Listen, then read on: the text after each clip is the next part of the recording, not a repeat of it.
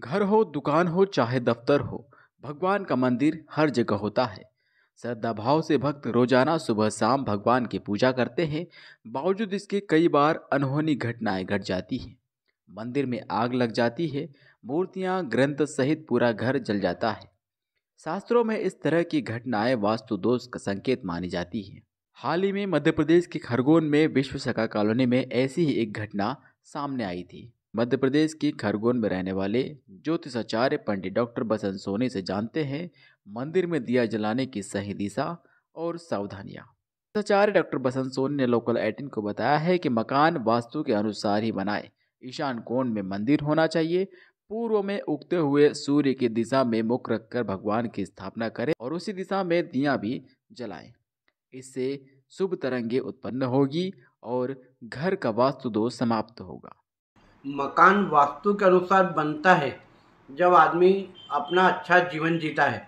ईशान कोण के ऊपर यदि मंदिर बनता है, जो भगवान का स्थान होता है तो पूर्व दिशा से जिधर से सूरज निकलता है, उधर भगवान को हम बिठाते हैं और उसी दिशा के अंदर हम दीपक भगवान के मंदिर में रखते हैं।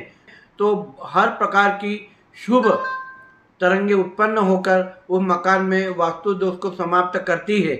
इसलिए हम चाहेंगे कि उचित दिशा में सही जगह पर दीपक को स्थापित किया जाए, जिससे वहाँ पर रहने वाले सभी प्राणियों को स्वास्थ्य अच्छा रहे, धन्य जाने की प्राप्ति हो और अच्छी पॉजिटिव ऊर्जा मिले।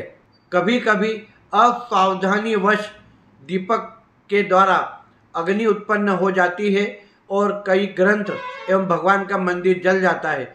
उस समय हमें इस बात का ध्यान रखना चाहिए प्लस बड़ी घटना जो है छोटी घटना के अंदर आकर भगवान ने अपने ऊपर उस घटना को ले लिया और आपको बचा लिया।